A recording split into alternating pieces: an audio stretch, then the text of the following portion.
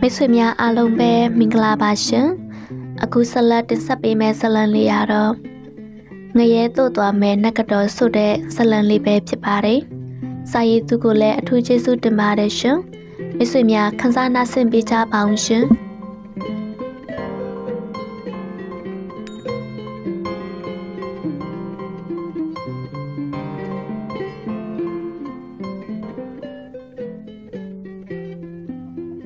ဆက်ဆိုတာ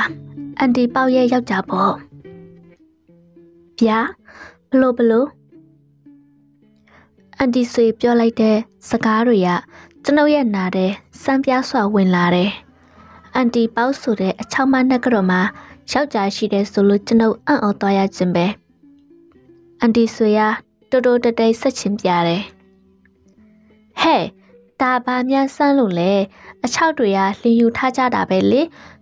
သူတို့လည်းတွေ့တာစိတ်ခံစားချက်ရှိတာပဲ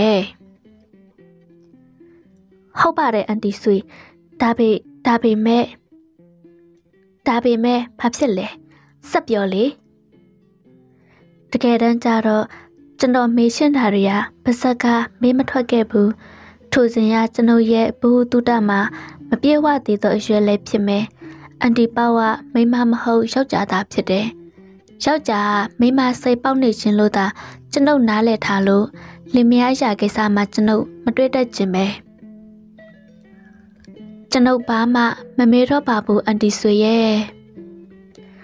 အေးမေးစရာမလိုပဲနဲ့တဖြည်းဖြည်းသိနာလဲလာပါလိမ့်မယ်ကဲအန်တီသွားမယ်အန်တီဆွေထွက်သွားတော့ကျွန်ုပ်ရဲ့ရှင်ထဲမှာချုပ်ထွေးစွာကြံခဲ့တယ် ကိုမိုးစနဲ့တိကျွမ်းခင်မင်ခဲ့သည်မှမကြသေးဘူးလုပ်ငန်းကွင်းတစ်ခုမှာတွဲဆောင်ခင်မင်ခဲ့ခြင်းပဲ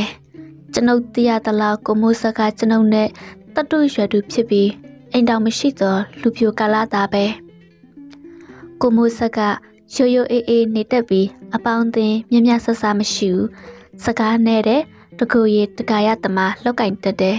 ဒါကတော့သူ့ပေါ်မှာအပြင်ပန်းကလေးလာချက်တာဖြစ်တယ်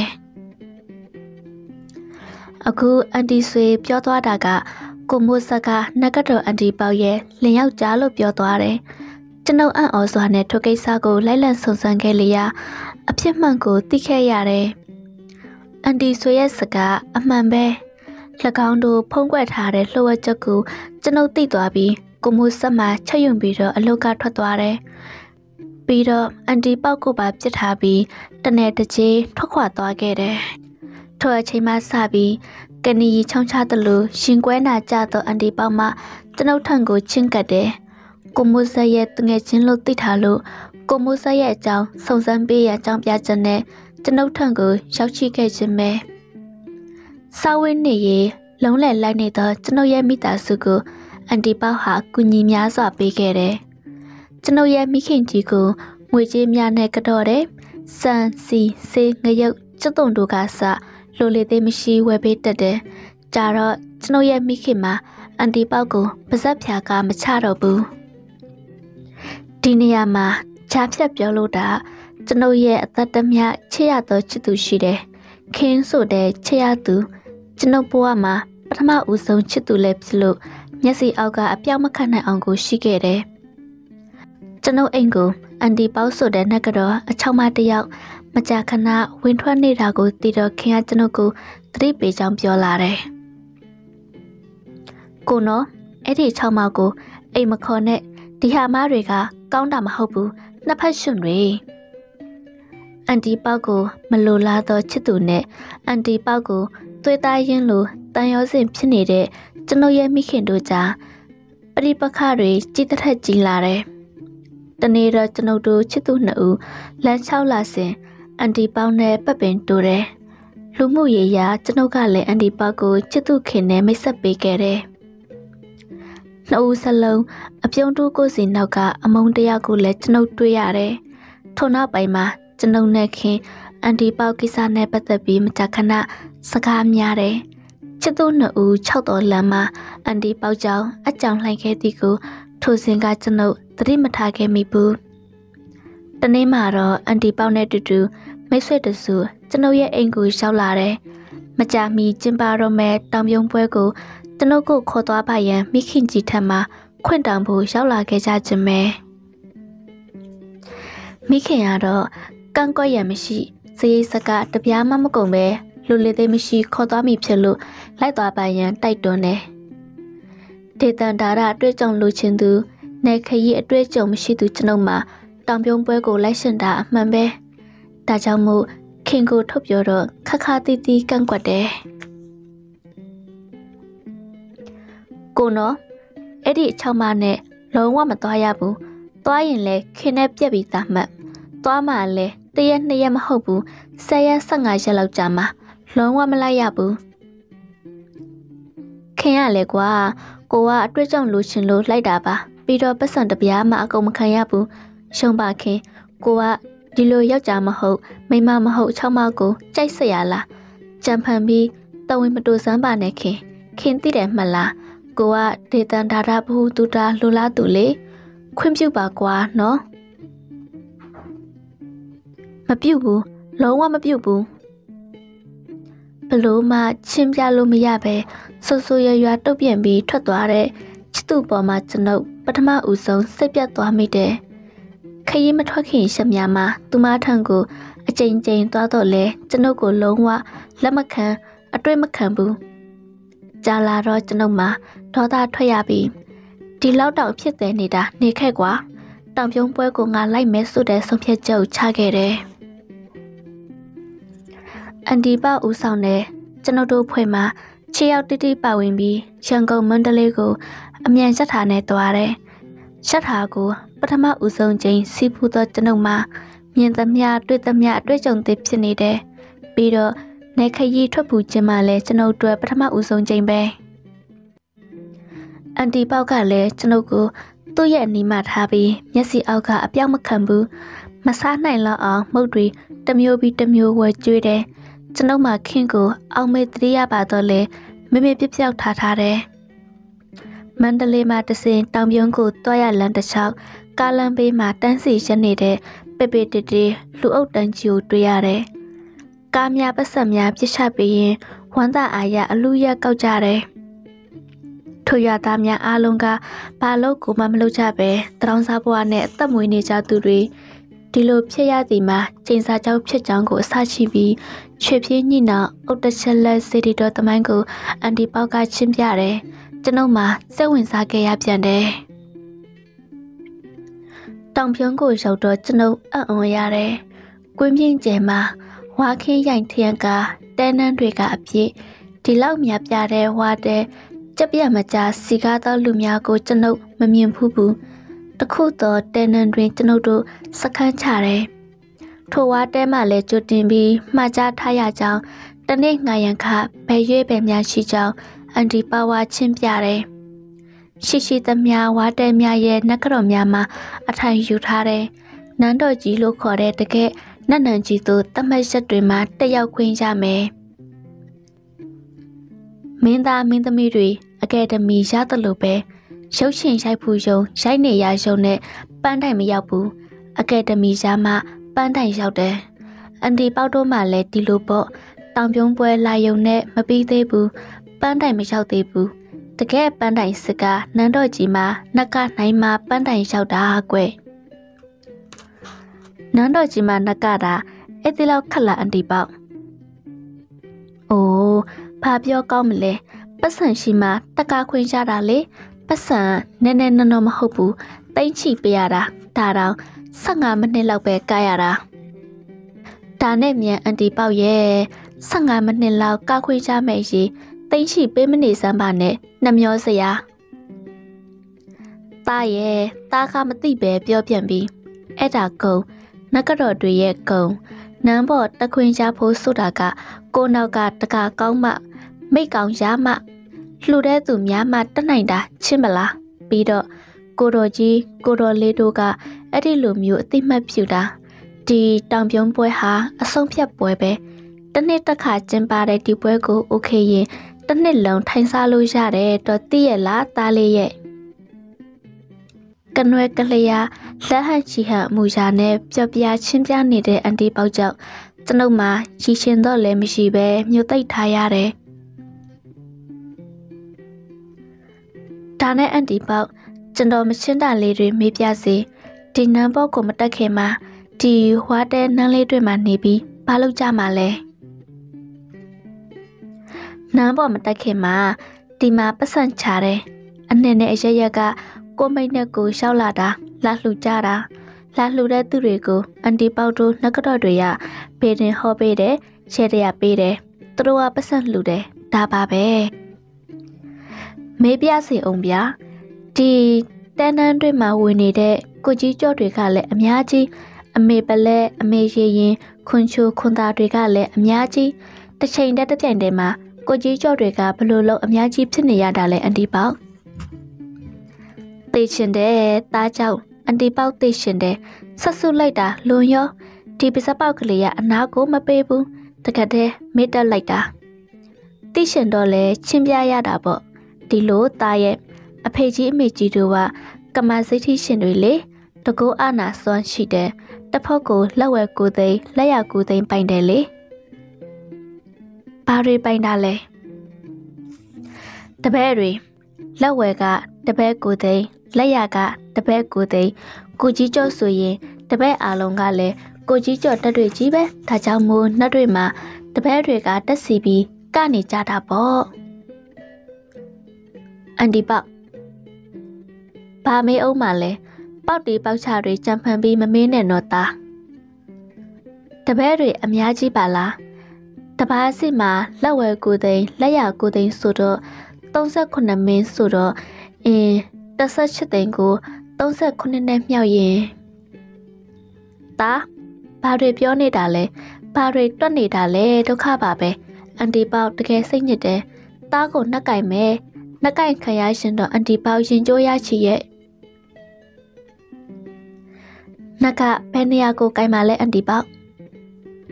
အန်တီပေါက် မဖြေတော့ဘူးမျက်နှာကိုလက်ဝါနဲ့အုပ်ထားသည်ကိုကြည့်ပြီးကျွန်ုပ်မှသဘောကျစွာရှိမိတယ်စိတ်မဆိုးပါနဲ့အန်တီပေါက်ရဲ့တာကအတွေ့အကြုံမရှိလို့ဘူးစုတာလိုလာလို့မေးကြည့်တာပါ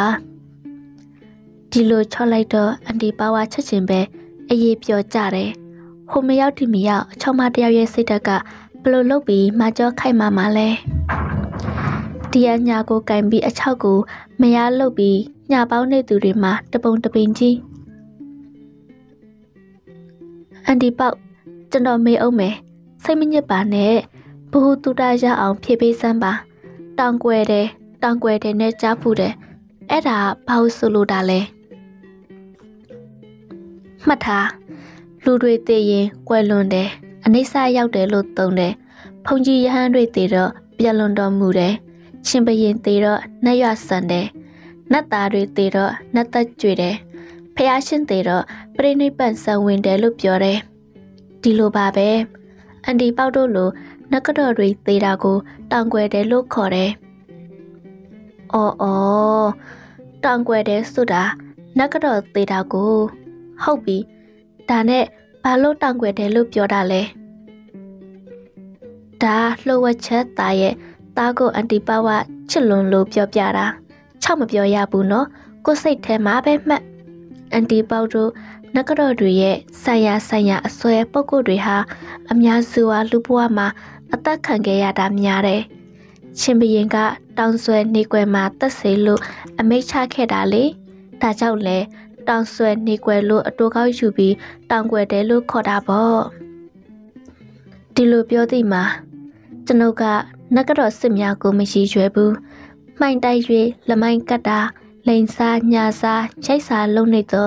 နဂတော်တုများကိုသာရည်ရွယ်တယ်။အတူအစ်စ်တိတ်တစေသော ဖြစ်ရက်များစွာနမတရကတစ်ခုထုတ်ပြရရင်တောင်ပြုံးပွဲတော်ကာလတွင်မှအန်တီပါဝအမေရင်တက်စီပြီးဟောချင်းပြောချင်းမှုကိုပြိတ္တများရှင်းမှပြုလုပ်တယ်။ဖျောင်းတိုင်အတိုင်း20ခန့်ကိုစီးပြီး မိညှိပြီးတော့မိတောက်များကိုစားပြတယ်။ပြိတ္တတွေပါဇက်ဟောင်းသားနဲ့အံ့ဩကြတယ်။ပါလာသောပတ်စံအိတ်ကိုဖွင့်တဲ့ငွေဖလားတဲ့ကိုဝင်လာမစဲတဲတဲပဲ။သို့တော့လေညနေမှကျွန်ုပ်ပတ်စံ3500အလျှော့ပေးရတယ်အကြောင်းမှာအန်တီပေါမိစားစင်ကဖဲဖက်မြက်တောင်တူမှာမိဟခံရလို့ကျွမ်းလောင်သွားတယ်ထိုမြက်တောင်တူရဲ့တန်ဖိုး3500ကို ငွေကင်ဖြစ်သောကျွန်ုပ်ကထုတ်ရော်ပေးလိုက်ရတယ်အသိဉာဏ်ရှိသူတို့စဉ်းစားစေလိုတယ်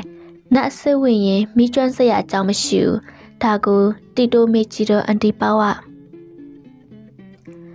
နတ်အစစ်ကမဝင်ဘူးမဟုတ်ဝင်တယ်ဒါပေမဲ့ခဏလေးပဲကျန်တာတွေကအန်တီပေါတို့တွေ့ကြုံတပါနဲ့ပွဲကိုထိမ့်ပြီးစောရတာပေါ့ ဆိုင်သက်လက်ရင်နှက်သေးတဲ့ဆိုတဲ့ဒိတ်ဘက်ကိုတော့တကယ်နန်ကြီးမှာကကြတော့ချိန်မှာကျွန်ုပ်သိရခဲ့တယ်အန်တီပေါရဲ့လှဲ့မှာညတနိုင်ကြောမှအလှဲ့ကြတယ်နန်းပေါ်မှာကားပြခွင်ရှားတဲ့အန်တီပေါရဲ့ဗန္နာထိတ်မှာကျွန်ုပ်ဖြစ်ပေလို့ဝဝကွယ်များပြည့်ကျက်နေသောပရိသတ်တို့ရဲ့ရရရရလှူငွေများကိုလိုက်လံသိမ်းဆည်းရတယ်။နန်းပေါ်ကပွဲရအနိုင်ချုံပွဲပဲသားဒီပွဲမှနိုင်ရင်တစ်နှစ်လုံးထိုင်စားလို့ရတယ်ဆိုတဲ့ အန်တီပေါရဲ့စကားမှာအလက်ကားမဟုတ်ဘူးအမှန်တကယ်သိမ့်နဲ့ချီပြီးငွေဝင်တယ်။ပရိသတ်များမှာနတ်တို့တန်ကိုမခံနိုင်ဘူးဆိုင်းတန်ကပရိသတ်ကိုကောင်းစွာမှဖန်ဆားထားနိုင်တယ်ပရိသတ်အများစုမှာအထူးသဖြင့်မိန်းမတွေအသိစိတ်လွတ်နေကြတယ်လို့ကျွန်ုပ်ထင်တယ်မျက်ရည်ပပောက်ကြပြီးချက်ကြီးတငင်ငိုသူအငိုအဟိခုံပေါကသူအက ဆွဲကြိုးနကတိုဖြုတ်သူအဖြုတ်ကျဲသူအကျဲနဲ့ထိုခဏထိုကာလမှာသူတို့မှာလူအသိစိတ်ဆိုတာမရှိတော့ဘူးလမိုင်းမျိုးမျိုးကသူတို့ကိုအသိစိတ်ကင်းမဲ့စေခဲ့ပြီးအန်တီပေါကတော့လှဲမှာကျွန်ုပ်ကငွေအိတ်ကိုဆက်လွယ်တိုင်းပြီးဆိုင်းစရာများကိုပတ်ဆက်များဖြင့်လက်ထိုထားရတယ်။ဒါကလည်းအန်တီပေါရဲ့မှတ်သားချက်ပဲ။ဦးစွာကားတာနဲ့အမေပုတ်ပါပဲ နတ်ထိုတီတော့အမေပုတ်ပါကြွပြီးလက်ပြချင်းကိုစီးပြီးကပြတယ်။တာချေစွာကခွင်ကမရဘူး။ဆိုင်းစရာကနတ်ဖို့တူကိုပြောင်းတိတာနဲ့နားထွက်ပေးရတယ်။နောက်တစ်ပါးကိုပင့်သောဆိုင်ကိုတီးပြီးကကြပြန်တယ်။၃လ5မိနစ်တွင်မှနှစ်ပုတ်တို့တီးပြီးနှင်လွတ်တယ်။အလှည့်တွေအများကြီးဖြစ်လို့အချိန်မှမြမမရဘူး။နောက်ဝင်ချင်းနှက်ထွက်ချင်းတို့ကဆိုင်ဆရာပေါ်မှာမူတည်တယ်။ ဒါပေမဲ့၎င်းတို့ဆရာတင်ရလောက်အောင်မမေရရပညာကမရှိ၎င်းတို့အားကိုသောနံလောကပုဂ္ဂိုလ်များကလည်းထင်သလောက်အဆင့်မရှိထိုအခါနဂရတို့ကပရိသတ်ကိုထိန်းထားနိုင်ဖို့အစွမ်းတမျိုးမျိုးရဖို့ကြိုးပမ်းတယ်။တချို့သောနဂတော်တွေမှာနန္နာရုပ်စေများဖော်ဆက်ပြီးမျက်လှဲဆန်သောတတ်တို့ကိုဆရာစွမ်းနဲ့ပြပြီးပရိသတ်ကိုထိန်းတယ်။တချို့အောက်လံပတ်လုံလုံရောက်သွားတော့တယ်။ ကျွန်ုပ်တွေ့ဘူးသောနဂတော်အချောင်းများအလုံးကအောက်လွန်သမားတွေပဲအထက်လန်ဖြစ်စရာလည်းအကြောင်းမရှိဘာလို့လဲဆိုတော့နဂတော်အချောင်းတွေကမဖွဲမလျာကိစ္စတွေကိုဝါသနာကြီးရလုံးပြီး၎င်းတို့ရဲ့အပြစ်မှုကသီလသမာဓိကင်းကွာရာအောက်လန်နဲ့သာတင့်တော်တယ်ပညာယူစင်မှာလည်းတချို့ဆိုရင် မြတ်စွာဘုရားစင်တူတော်ဗုဒ္ဓပချီကတပုံစသည်များရဲ့ပုံဝဲထမိန်နဲ့အုပ်ခြင်းတထိုင်ခြင်းခြေပေါ်ဝါမှာဖျားပုံဆင်းမင်ကြောင်ထိုးထားခြင်းများနဲ့ပညာယူရတယ်ဒီလောက်ထိအောက်တန်းကြတဲ့နဂတော်အချောက်တွေကတက်တဆုပ်ကိုယူပြီးဒီဘဝမှာအစွမ်းထပ်ပါစေ။နောင်ဘဝများစွာမှာဤတဲပွင့်ပမာဏအတိုင်းအပြစ်တက်များခံရပါစေငရဲကြပါစေဟုကြိမ်တွယ်ပြီးယူရတယ်။ တဘဝဆံဘဝတွေဖြစ်ကြတဲ့၎င်းတို့ရဲ့ဘဝနိကုံဟာငရဲမှတပါတခြားမရှိဘူး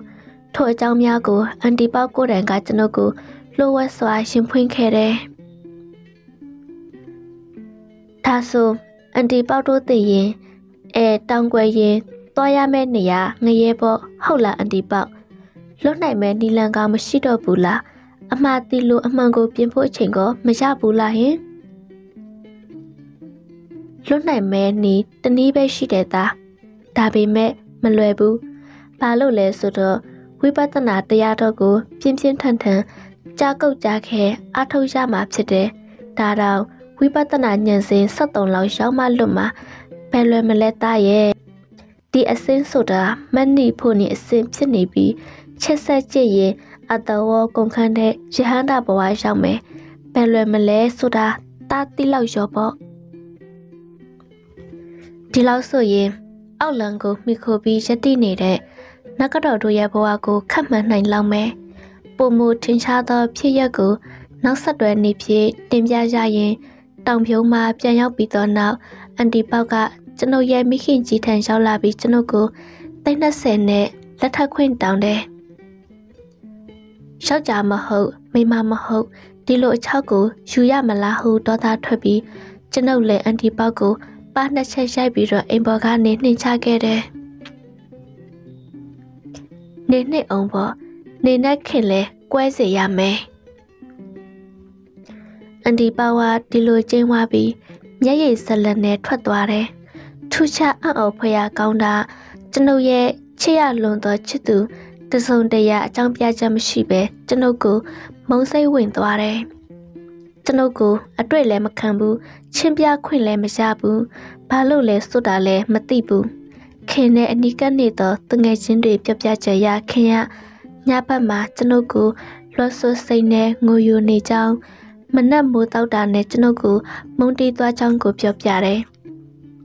ကျွန်ုပ်လည်းဖေးတင်ဆရာရှဲတရားဆရာပေါင်းစုံကိုတွားပြီးခင်နဲ့ပြစ်လဲဖို့ရန်ကြိုးစားတယ် ဗီဒီယိုခွေငှားဆိုင်ဒီဇိုင်းပြုတ်သွားရအောင်ငွေကြေးများစွာကုန်ခဲ့တော့လဲဖြစ်မလာဘူးအဲ့ဒီထက်ပိုဆိုတာကျွန်တော်ရဲ့မိခင်ကြီးမှလည်းပြဿနာတွေပေါ်လာတယ်ညဘက်အလိုလိုနေရင်ကျွန်ုပ်တို့သားမိနှစ်ဦးမှတစ်ခုခုကိုကြောက်ပြီး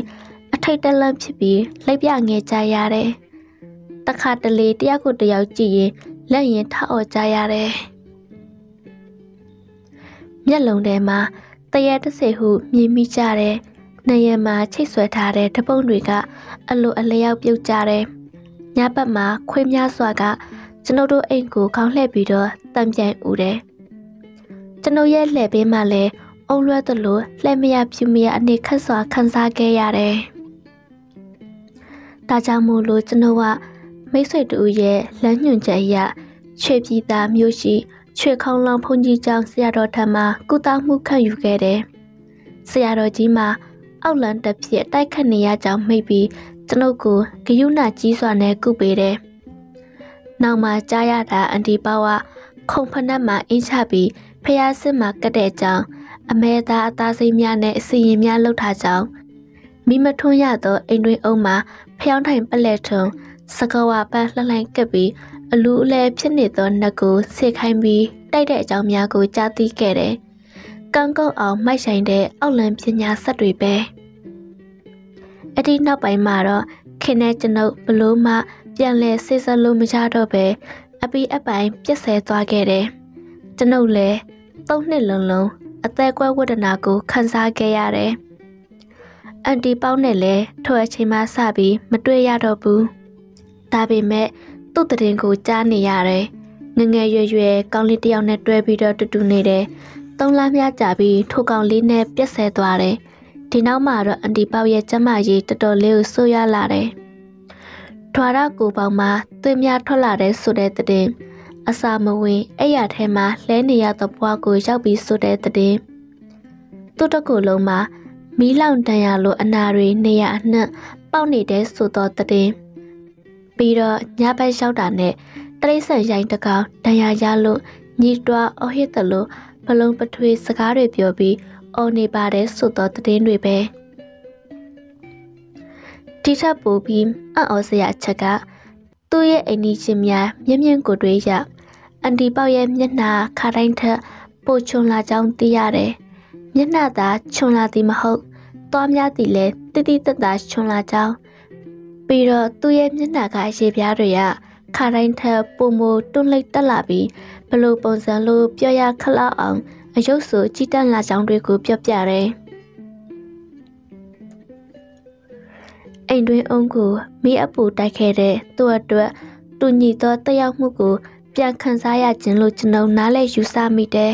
။ဒီလိုဝေဒနာဖြစ်ဆိုများကိုအန်တီပေါတယောက်6ရက်တီတီခန်းစားခဲ့ရပြီးတော့နောက် ရုပ်ပြက်စင်ပြက်နဲ့သေဆုံးသွားခဲ့တယ်။ရုပ်အလောင်းကိုချီမဆင်၎င်းအိတ်ခဲ့တဲ့အိယာတွင်လည်းအကွက်လိုက်ကြီးမီးလောင်ကျွမ်းထားတယ်။ကတင်တက်တာပြင်းချက်တွေထိမီးလောင်ကအညိုမဲကြီးကအထင်အချာရှိနေခြင်းကိုဘလို့နားလည်ရမှန်းတော့မသိရတော့ဘူး။အသက်ထွက်သွားတာနဲ့အပုပ်နှံ့မှာချက်ချင်းထောင်ကနန်းပဲအန်ဒီပါဝါအဲ့လောက်ထိအာကုသို့ကြီးခဲ့ပါလား။ ထိုအကုသို့တွေကကျွန်ုပ်ကိုတိုက်ခိုက်ခဲ့တဲ့ကိစ္စများသာမဟုတ်ဘူးချဲပြုခဲ့သောအကုသို့ပေါင်းများစွာတို့စုပေါင်းပြီးအကျိုးပေးချိန်မှာစုခံရခြင်းဖြစ်မဲ့ဟုကျွန်ုပ်နားလည်မိတယ်၎င်းအာသူပချပြီးနှစ်ရက်မြောက်သောညမှာကျွန်ုပ်ထူဆန်းသောအိမ်မက်ကိုမြင်မှတ်တယ်အိမ်မက်ထဲမှာအန်တီပါဝါလက်မခန့်ရှိတဲ့လောက်ကောက်တစ်ကောင်ဖြစ်နေတယ်ခန္ဓာကိုယ်ကလောက်တတန်ရှိတော့လဲမျက်နှာကတော့ အန်တီပေါရဲ့မျက်နှာသူခေါ်နေကြအတိုင်းကျွန်ုပ်ကိုသားလို့သားတခွန်းပဲခေါ်ခွင့်ရခဲ့ပြီးတော့ဟုံးကနန်မိထတောက်တယ်တပြည့်ပြည့်လောင်ကျွမ်းနေတဲ့လောက်ကောင်ကြီးမှလင်းနဲ့တူတူမျောလွင်းပြောက်ွယ်သွားတယ်ကျွန်ုပ်လည်းအဲ့ရမနေလက်နိုးလာခဲ့တယ်အန်တီပေါတယောက်ဘယ်ဘဝကိုရောက်နေမှမသိဘူးအိမ်မက်ထဲကလို့လောက်ကောင်ဖြစ်နေလားတေချာတာတခုကတော့ကောင်းသောဘဝ ကောင်းသောပုံမှာရှိမနေနိုင်ဘူးမကောင်းသောအသက်မွေးမှုနဲ့ရည်တည်ခဲ့သောသူအတွက်လာရလန်းသိလဲမကောင်းသောဘဝမှာဖြစ်မှသိကြတယ်။ကံကံရဲ့ကြိုကူမယုံကြည်သူဖះအဆရှိသောသူတော်ကောင်းများပေါ်မှာကံကြီးထိုက်ခဲ့သူ သူတစ်ပါးကို မကောင်းသောအတက်ဖြင့်နှိပ်စက်ခဲ့သူရဲ့လာရလန်းသိလဲတခြားမရှိဘူး။ငရဲနကတော်လောကရဲ့ အချုပ်ထုံဖြစ်ရတဲ့ပုဂ္ဂိုလ်အထုပ်ဖြစ်ပြရခြင်းမှာဒီလောက်နဲ့မလုံလောက်နိုင်ဘူးတစိတ်တရေသားမြတာထုတ်ပြနိုင်ခြင်းဖြစ်ပေလိမ့်မယ်ဖွေမဖို့ချစ်အိမ်ရှိမခေါ်တုံကြတော့နွားစာစင်းနေရင်လှန်ကြည့်တော့ဥတကကောင်းပေါင်းနဲ့လူအားတော့ထုံးစံတိုင်းအပေါ်ပိုင်းဗလာချင်းပြီးမုတ်ဆိုကြီးဥတကအင်ကိုလာပုံထောက်ရင်တော့အကြောင်းတစ်ခုခုရှိမယ် ဒီလူကြီးကတော်ယုံနဲ့လှတက်တဲ့သူမဟုတ်ဘူးဦးတက်ကလာလေဦးလေးကျွန်တော်လည်းအိမ်ကောင်းရင်ကမကြီးပင်အောက်ကပြစ်ပေါ်မှာအကျန်းရိတ်တူနဲ့လက်ဖက်တုပ်လေးကိုချပြီးဧခံနေကဲဆိုပါအောင်မလာစဖူးအလာထုလို့ပါလားဦးတက်ကအကျန်းရိတ်ကိုတစ်ခွက်မြငှဲ့ရင်ဟုတ်တယ်ငါလဲတော့မလဲဖြစ်တာကြားပြီးဆိုတော့ အမဲလဲပြစ်ရင်ဆေးပင်လေးလဲချရင်ပေါ့အဲ့ဒါမင်းလိုက်မလားလို့ကျွန်တော်လည်းဦးတက်ကနဲ့တော့မလဲဖြစ်တာကြားပြီးဆိုတော့ကောင်းကြီးလက်ခံတယ်လိုက်မယ်ဦးလေးဒါဆိုရင်လည်းမနဲ့စောစောသွားကြမယ်မင်းငါအိမ်ကိုသာလာခဲ့ငါပြင်ဆင်ပြီးစောင့်နေမယ်စိတ်ချဦးလေးကျွန်တော်လာခဲ့မယ်မနက်ခင်မြူနှင်းတွေနဲ့ ထန်းလဲရွှလေးကိုဖုံးအုပ်ထားတယ်နွားချူတန်တွေကစူညံနေပြီးအရှိမသွားနေသောနွားလှဲထံမှကြားရခြင်းဖြစ်တယ်။ဦးတကနဲ့ကျန်တော်လှဲလန်လေးတိုင်းလျှောက်ခဲ့ကြတာတောင်တက်လန်စီကိုရောက်လာခဲ့တယ်။လိုအပ်တဲ့ပစ္စည်းများကိုစစ်ပြီးသောနောက်တောင်ပေါ်စတက်တယ်။တောတောင်တဲရောက်ပြီးဆိုတာနဲ့တဘာဝရဲ့တေးသက်များဖြစ်တဲ့ကျင်းငှက်များမြောက်အုပ်များရဲ့အသက်များဖြင့် ပတ်ဝန်းကျင်တစ်ခုလုံးအေးချမ်းလျက်ရှိတယ်။တမနက်လုံးတက်လာခဲ့ကြတာမိသည့်သားကောင်မျှမတွေ့ရဘူးခါတိုင်းဒီချိန်ဆိုရင်ဂျီဆက်တော့ဝက်တောကောင်တစ်ကောင်ကောင်တော့ရနေလောက်ပြီမွန်တက်ခဏီပြီးဆိုတော့နှစ်ယောက်သာထမင်းစားဖို့နေရာချပြီးပစိုးကြမ်းလေးခင်းပြီးထုံးစံတိုင်းပါလာသောအစားအစာများကိုဥတကတင်မြောက်ပြီးတော့တကလာစားကြတယ် ထမင်းစားလို့ပြီးသွားတဲ့အခါမှာပုံနေသောထမင်းနှဲငယ်ကိုအိမ်ဘက်ပေါ်ကိုတင်ပြီးဥတကယူဆောင်သွားပြီးနေရာလွတ်တစ်ခုမှာငှက်စာဖြစ်ထားခဲ့သည်ကိုကြည့်ပြီးကျွန်တော်လေးစားမိတယ်။မုတ်ဆိုးဆိုပေမဲ့ကျွန်တော်တွေ့ပူသမျှမုတ်ဆိုးတွေထဲမှာတော့အကျဉ်းတရားရှိဆုံးမုတ်ဆိုးတယောက်ပဲ။စားပြီးတောက်ပြီးတဲ့နောက်ခိတနာပြီးအလုပ်ပြန်စားရတယ်။ထိုစင်မှာအတန်တစ်ခု အတန်ကြားရစီကိုဥတကနားဆွင့်ပြီးဖို့ချစ်ရဲ့အဲ့ဒါစင်ရိုင်းအုပ်ပဲဆယ်ကောင်ထက်ရှိမယ်ဒီကောင်ကြီးတွေဝတော်တိုးပြီးမြစ်တူစားနေကြတဲ့အတန်ပဲကဲလာလာတို့တွေအနောက်ဘက်ချိုတဲ့ကိုဆင်းမယ်အဲ့ဒီဘက်ကလေအောက်ဆိုတော့ငါတို့အတွက်အန်တရကင်းမယ်ဒီကောင်ကြီးတွေကတိတ်ပါတဲ့ကောင်တွေပပင်တွေးရင်မချောင်ဘူးဟဲ့ ဥတကရဲ့မုတ်ဆိုတွေ့ကြုံကိုတော့ကျွန်တော်အကျွေးမဲယုံကြည်တာမဟုတ်လို့သူ့ရဲ့ကျွမ်းကျင်မှုကိုအထူးဆန်းမဖြစ်ဘူးဦးတက်ကသွားရနောက်မှကျွန်တော်ကလိုက်လာရင်ချိုထဲရောက်တော့ကျွန်တော်တို့နှစ်ယောက်ကန်ဆိုးစွာနဲ့စင်ရိုင်းတွေကဝါတော်ကုန်းအမြင့်ကနေမြင်သွားပြီးအချက်ဆုံးအကောင်ကြီးကြီးတစ်ကောင်ကစပြီးတော့ဖင်ထိုင်ချပြီးကုန်းမြင့်ပေါ်မှာကျွန်တော်တို့ထံကိုချိုးရဲကိုချောဆင်းချလာတယ်။ ကြံစင်တွေပါချောဆင်းလာတာကြောင့်မဖို့ချစ်ရဲ့ပြေးတော့ပြေးတော့ကျွန်တော်ရဲ့နားတဲ့ဥတကရဲ့တတိပေတံကိုကြားမှတတိဝင်ပြီးခြေကုံအောင်တုတ်ရတော့တယ်။နှစ်ယောက်သာလူစုကွဲသွားပြီးအသက်လူပြီးပြင်းနေရတော့ကြောင့်ဘယ်စီကိုပြင်းနေမှန်းလဲမသိတော့ဘူး။ဥတကတင်ပေးထားတဲ့အတိုင်းစင်ရိုင်းလိုက်လို့ပြေးရတော့ခါတက်တက်မပြေးပဲကိုယ်ပတ်ပြေးနေရတော့ကြောင့် ကျွန်တော်အနောက်မှာလိုက်လာတော့စင်ရိုင်းကြီးပူမူဒေါသထွက်နေတယ်။ခြေကုံလက်ပံကျအောင်ပြေးနေရင်တောင်စွန်းတစ်ခုရဲ့ထိပ်ကိုရောက်သွားလေတော့တယ်။အနောက်မှာထက်ချက်မကွာလိုက်လာတဲ့စင်ရိုင်းကြီးကလည်းကျွန်တော်စီကိုမဟုံအပြေးနဲ့ပြေးလာနေပြီ။ကျွန်တော်ဘာလို့ရမှန်းလဲမသိတော့ဘူး။ပင်20ခန်းလောက်နှိမ့်နေတဲ့ကြောက်ကကျွန်ုပ်ကိုစီကျို့နေတာမို့လို့မထူးတော့ဘူး။ကြောက်ထဲခုန်ချခြင်းက ကျိုးပဲယုံဖြစ်အသက်ချနိုင်ခြင်းရှိတယ်။စေရိုင်းနဲ့သာတိုးရင်တော့ကျွန်တော်တစားစီဖြစ်သွားမှအသေးကြပဲ။မျက်လုံးကိုစုံမိတ်ပြီးကျွန်တော်ချစ်ရဲ့ဆုံကလေဟာနယ်ကိုမြောက်တက်သွားလေတော့တယ်အပေါ်ကကြည့်ရင်သာတိတ်မမြင့်ဘူးလို့ထင်ရတာတကယ်တမ်းခုံချကြည့်တော့မြေပြင်နဲ့ရိုက်မိတော့ကျွန်တော်မှနာကျင်မှုကြောင့်တတ်တော်ချူမရဘူးနားများဥပြီး အမြင်တွေပါမှုံဝါသွားတယ်အသိစိတ်ကလည်းဝင်တစ်ချက်မဝင်တစ်ချက်ဖြစ်နေစမှာပဲကျွန်တော်ရဲ့ခန္ဓာကိုယ်ကိုတစုံတစ်ယောက်ကတရုတ်တိုက်ဆွနေခြင်းကိုခန်းစားရလိုက်ပြီးတော့နောက်ဘာမှမသိတော့ဘူးနှာခေါင်းထဲမှာထူးခြားသောအမွှေးရနံ့တစ်မျိုးကိုရနေတယ်ခန္ဓာကိုယ်တစ်ခုလုံးအိပ်ဆက်နေပြီးတပွပွနဲ့ရေစက်ရေပေါက်ကြတုံလဲကြားတယ်မျက်လုံးကိုအသားရဖွင့်ကြည့်တော့ ကြီးမားတဲ့ကြောက်ကူကြီးတဲ့ကိုရောက်နေသည်ကိုတွေ့မြင်ရတယ်ကြောက်ကူကြီးရဲ့အပေါ်ပိုင်းမှာကြောက်ပန်ဆွဲများစိတ်ပြီးတော့ကြလာသောရေစက်တွေကအောက်ခြေကြောက်ကြံပြင်မှာချက်ခွက်တောင်းဖြစ်နေပြီးခြေဆက်များထိုချက်ခွက်တွေကိုတပွပွကြတန်ကဂူတွင်းမှာတေးသွားတပုတ်လာကြားနေရတယ်။ကျွန်တော်အာယူပြီးထကြည့်တယ်။တကူလုံးနာကျင်မှုနဲ့ပြန်လဲကျသွားပြန်တယ်။လဲနဲ့လို့တော့မဖြစ်ဘူး။ ရအောင်ပြန်ထားဖို့စူးစမ်းရတော့မယ်။အာယူပြီးပြန်ထားလိုက်ဒီတစ်ခါခြေတော့များကနာကျင်တော့လဲထားလို့ရသွားတယ်။ကျွန်တော်ပတ်ဝန်းကျင်ကိုအကဲခတ်ရင်လိုက်ကြည့်တော့အခါမှာကူရဲကိုဝင်သွားတဲ့လန်ကာမဆုံးသေးဘူးထူးခြားတာခုနရံမှာရှိသောကြောက်တမျိုးကပိုးဆုံးကျူများကဲ့သို့အလေးရောင်တွေထွက်နေခြင်းပဲထိုကြောက်များကြောင့်ကူရဲကိုကောင်းစွာမြင်နေရတယ်ကျွန်တော်လည်းအထဲကိုဝင်သွားသောလမ်းတိုင်း တဖြည်းဖြည်းချင်းခြောက်သွားလိုက်တယ်အထဲရောက်တဲ့အခါပိုအေးလာပြီးပိုမောင်လာခဲ့တယ်ရုတ်တရက်ကျွန်တော်နောက်ကတစုံတယောက်ရဲ့ခြေတံကိုတက်တက်ကြားနေရတယ်။အနောက်ကိုလှည့်ကြည့်တော့လဲဘာမှမတွေ့ရတော့ဘူး။ဆက်ပြီးခြောက်လာခဲ့ရင်ထူဆန်းသောအရာတစ်ခုကိုတွေ့ရတယ်။ထိုအရာကြောက်ဖြာကြီးပေါ်မှာအခေါင်တလားတစ်လုံးပင်ဖြစ်တယ်။ဘေးပတ်လက်မှာမီလင်းသောကြောက်တွေကြောင့် မြင်ကွင်းရရှင်တယ်။ကျွန်တော်အနားကိုတွတ်ကတ်သွားရင်အခေါင်းစီမှာမှုေးပြန့်သောရှနံ့တစ်မျိုးကိုရတာမို့လို့ပုံမစိတ်ဝင်စားသွားပြီးအခောက်အဖုံးကိုအသားရဖွင့်ကြည့်တယ်။ဘဘလို့ဖြစ်တာလဲ။အခောင်းထဲမှာ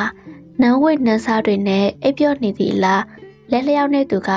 ကျွန်တော်နဲ့တပုံစံနဲ့ဖြစ်နေလို့ထိတ်လန့်စွာနဲ့နောက်ဆုံးမိတယ်။အတွေ့ထဲမှာစမ်းကြဲခြင်းတွေကအပြည့်ပဲ ကိုမျက်နှာကိုလည်းကိုပြန်ဆန်းတက်ကြည့်မိတယ်။ငါငါသေးပြီလားမဟုတ်သေးပါဘူးရှင်ထဲမှာဘာရဲ့မသိစွန့်နှင်းကြေခွဲမိတယ်ထိုစဉ်မှာကြားဟင်းတုံကြားတယ်ကြားကြီးပါလားကြီးမာတောက်တင်လာတဲ့ကြားကြီးတစ်ကောင်အယောင်အသွေးတောက်ပြောင်ပြီးကျွန်တော်အနောက်ကိုဘယ်ချိန်ကလေးရရှောင်းနေမှမသိဘူး ဂူနီယံကိုကျုံးမိပြီးတန်ရာတွေနဲ့မပြေးနိုင်သူအဖို့လက်ဆင်းပေးလိုက်ရုံပဲ။ကြားကြည့်အချစ်ကိုတလန့်ချင်းတုတ်ကလာတယ်။ဟေးယူပနောက်ဆုတ်စမ်းအဖိုးကြီးတယောက်စပင်မုတ်စိတ်တွေဖြူဖွေးပြီးတောင်ဝက်တစ်ချောင်းကိုထောက်ပြီးလှမ်းခေါ်တော့ကြားကြီးအနောက်ကိုဆုပ်ပြီးတော့ခွခွေလေးထိုင်ချတယ်လူလေးအဖိုးမင်းကိုစောင့်နေတာ နှစ်ပေါင်း200ပြည့်ပြီဒီနေ့ဟာနှစ်ပေါင်း200ဗျာအံ့ဩသွားလားအံ့ဩမနေပါနဲ့တန်တရားဆိုတာအမတန်မှစမ်းကြက်ပါတယ်မင်းတို့တွေ့ခဲ့ရတဲ့စင်ချိုင်းအုပ်ဆိုတာတကယ်မရှိပါဘူးဒါဒါဆိုရင်မလန့်ပါနဲ့သူတို့မင်းတို့ကိုဒုက္ခမပေးဘူးအဖိုးလည်းမတက်တာလို့ဖန်တီးလိုက်တာပါဒါဆိုရင် ဟိုအကောင့်တရားလူကရောအဖိုးကြီးကခေါင်းတလားစီကိုရှူဝေသောကျင်းနဲ့လှမ်းကြည့်နေရင်ကလွန်ခဲ့တဲ့နှစ်ပေါင်း200ကလူလေးရဲ့ရုပ်အလောင်းပေါ့ဘလို့ဟုတ်တယ်လူလေးလူလေးရဲ့ညှိတော်ဖြစ်တဲ့ဥက္ကပါလာဟာထင်းနှန်းကိုလိုချင်တဲ့အတွက်အကိုဖြစ်သူကိုသူ့ရဲ့ကျင့်ရတော်နဲ့တူတူဒီကြောက်ကူကြီးထဲမှာအလုံးပိတ်သက်ခဲ့ကြတယ် အဲ့ဒီဘွားမှာလူလေးရဲ့အမိနာမကနန္ဒပါလာတဲ့ဂုဏတွေ့ရတဲ့အခေါင်တလားတဲ့ကနန္ဒပါလာပေါ့ကွယ်မမမီးနိုင်တဲ့အတိတ်ကအကြောင်းအရာတွေကိုနားထောင်ခြင်းရှင်ထဲမှာစုံနှင်းကြည်ကွဲသလိုခံစားမိတယ်။ဒါနဲ့အဖိုးကျွန်တော်ကအခုဒီမှာဘာလို့ရမှာလဲအိမ်ပြန်ကျင်တယ်ဗျာ။အဖိုးကြီးကသဘောကျဟန်နဲ့ပြုံးတယ်။ ပြန်ရမှာပါတကယ်ဆိုရင်ဒီနေ့ဟာအဖိုးမင်းကိုအပီးတိုင်ပြန်ခေါ်ရမယ့်နေ့ပဲ။ဒါပေမဲ့လူလေးရဲ့တိတ်ဘွားကကျင်ရတော့ကလူလေးရဲ့စန္ဒတိုင်းဆောင်ရွက်ပေးဖို့တောင်းဆိုလာလို့လူလေးကိုအခုအိမ်ပြန်ပို့ပေးပါမယ်ကျွန်တော်ရဲ့ကျင့်ရတော့ဆိုတာဘယ်မှာလဲဒီလိုပြောတော့အဖိုးကြီးကတောင်ဝှေ့ကိုတစ်ချက်ဆောက်လိုက်တော့ရုပ်ရည်ချုံမောလှပတဲ့အမျိုးသမီးတူ နန်းဝိနန်းစားတွေနဲ့ပေါ်လာတယ်ကဲဒါကတော့အတိတ်ဘဝကနန္ဒပါလာရဲ့ကျင့်ရတော့ပဲကဲလူလေးမင်းရဲ့ကျင့်ရတော့ကတော့အတိတ်ဘဝကသူတို့ကိုကူတဲ့ထည့်ပြီးအလုံးပိတ်သက်ခဲ့တဲ့ဥက္ကပါလာကို မကျေနိုင်ဘူးအဲ့ဒီရညွမြနဲ့တူတူ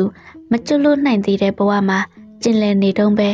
ဒါကြောင့်မို့လို့လူလေးအိမ်ပြန်ရင် သူ့နာမည်ကိုခေါ်ပြီးအလှူဒါနတွေမြတ်များလုပ်ပေးပါဟုတ်ကဲ့ပါဖိုးကျွန်တော်လုပ်ပေးပါမယ်ကဲလူလေးအဖိုးကခေါ်ထားခြင်းပေမဲ့လူလေးရဲ့စန္ဒာရအဖိုးကတော့ပြန်ပို့ပေးရမယ်အဖိုးဟာလူလေးတို့ကိုငယ်စဉ်ကတည်းကထိန်ချောင်းပေးရတဲ့အထိန်တော်ကြီးဖြစ်ခဲ့တာကြောင့်အဖိုးကအမြဲတမ်းစောက်ချောက်နေမှာပါကဲ လူလေးရဲ့အိမ်ကိုအာယုံပြုတ်ထားပေတော့ကျွန်တော်ဂူကြီးနဲ့အကောင့်တလားထဲမှာကျွန်တော်စွတ်တော်သူမဟုတ်နန္ဒပါလာရဲ့ခန္ဓာကိုယ်ကိုနှုတ်ဆက်ကြည့်ရင်မျက်လုံးမှိတ်ပြီးတော့အာယုံကိုပြုတ်ထားတယ်။ရေရေပေးကြပါ။လောက်ကြပါအောင်ပြေးကြပြေးကြကျွန်တော်နာမလူတွေအော်ဟစ်ရှုံးကန်ရင်အသီးသီးစင်ပြေကြသည်ကိုတွေ့ရတယ်။ ရှင်ထဲမှာ၆ကပ်နေတဲ့ခြေကိုသာအငမ်းမရတောင်းနေမိတယ်။ဟဲ့မိလှတဲ့ခြေသွားခတ်စမ်းနင့်သာမသေးသေးဘူးသွားသွားဦးတကရဲ့စကားကြောင့်အမေမျက်ရည်နဲ့မျက်ခွဲရှိပြစ်ခတ်ပေးတယ်။ခြေကိုအငမ်းမရတောက်တယ်။ကျွန်တော်ဟာသုံးခွက်လောက်ပင်ကုန်သွားတယ်။ဝါကျန်းပြင်သူမဟုတ်တကောက်စင်ပေါ်မှာထထိုင်ပြီးတော့ပလက်ကလက်ထိုင်ဖို့ကိုကြောမိထိုင်ရင် မောင်ဖို့ချစ်မင်းဘာတွေဖြစ်ခဲ့လဲပြောပြစမ်းကုနာဆင်ပြေသွားတော့လူအုပ်ကြီးမှပြန်တက်လာကြပြီးကျွန်တော်ပြောမဲ့အကြောင်းအရာများကိုနားဆွနေပြီးတော့အကြသက်မေးမကြရလောက်အောင်တိတ်ဆိတ်နေတယ်။อืมငါမင်းကိုစင်သေးခြေတကုံအနာကကြောက်ဖြပေါ်မှာပြန်တွေ့တာငါဆန်းကြည့်တော့မင်းကအသက်မရှူတော့ဘူးအစ်ဆက်တောက်တင်နေပြီ ငါလဲဘာလို့ရမှန်းမသိတာနဲ့ရွာကိုပြန်ထမ်းလာခဲ့တာတောထဲမှာရွာကတက်ခုတ်တဲ့လူတွေနဲ့တွေ့တော့ပို့အစင်ပြေသွားတာပေါ့ဒီရွာရောက်တော့ဆေးစရနဲ့ပြကြည့်တော့မင်းကအသက်မရှိတော့ဘူးဒါနဲ့ငါတို့မနှက်ပြန်ကြရင်တချို့တော့မှာကျွန်တော်လည်းဖြစ်ပျက်ခဲ့တာတွေကိုပြန်တွေးရင်ရှင်ထဲမှာလုံးဝမကောင်းဘူးဒါကြောင့်မို့လို့အမေးစီမှာခွင့်တောင်းပြီးကျွန်တော်ရွာဖုန်ကြီးကျောင်းမှာခတ္တဖုန်ကြီးဝတ်ခဲ့ပြီးတော့ ပြုသမျှကုသိုလ်အဖို့ပါကားတွေကို အတိတ်ဘဝမှာတော်ဆက်ခဲ့ဘူးသောကျင်ရတော်လေးကို အမြကုသိုလ်ပေးဝေခဲ့လေတော့တယ်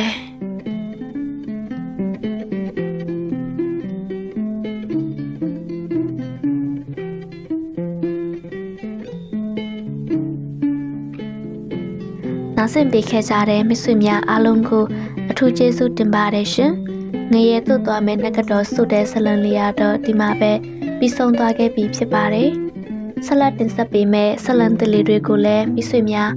ဆက်လက်ဆောင်မြော်အားပေးကြပါအောင်လို့ပြောရင်းနဲ့ပဲနှုတ်ဆက်လိုက်ပါတယ်ရှင်။